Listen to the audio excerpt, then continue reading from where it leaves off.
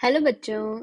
Let's see the question. The question is, a piece of iron of mass 100 gram, is kept inside a furnace for a long time, then put in a calorimeter जिसका water equivalent 10 gram है containing 240 gram of water 20 degree Celsius पे।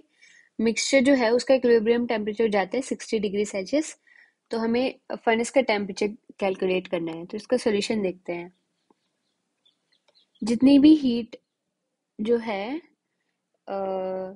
Gain करी है water ने और calorie metre ने वो equal हो जाएगी heat lost by the iron तो हीट गेन कितनी हुई है?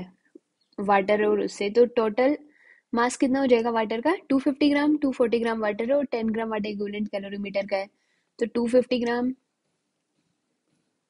ये तो मास हो गया और स्पेसिफिक हीट कैपेसिटी जो होती है वाटर की वो होती है four four thousand two hundred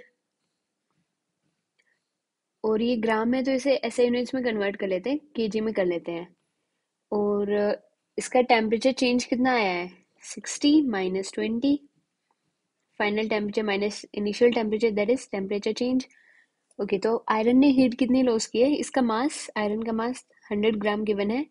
ऐसे यूनिट्स में कन्वर्ट कर लेते हैं। और आयरन की स्पेसिफिक हीट कैपेसिटी गिवन है फोर सेवेंटी और इसका temperature change let's say furnace का टेम्परेचर टी है और आयरन उसमें रखा हुआ था तो आयरन का टेम्परेचर भी टी हो जाएगा।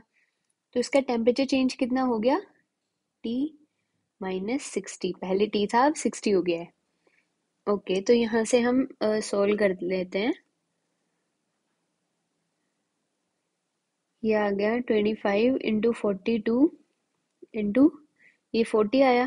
फोर्टी ये आ गया forty seven T minus forty seven into sixty तो यहाँ से हम टी की वैल्यू कैलकुलेट करें तो वो आएगी nine thirty sorry nine fifty three point six one degree Celsius तो हमारा फाइनल आंसर हो गया जो फर्नेस का टेम्परेचर है वो nine fifty three point six one degree Celsius है. So I hope you got it best of luck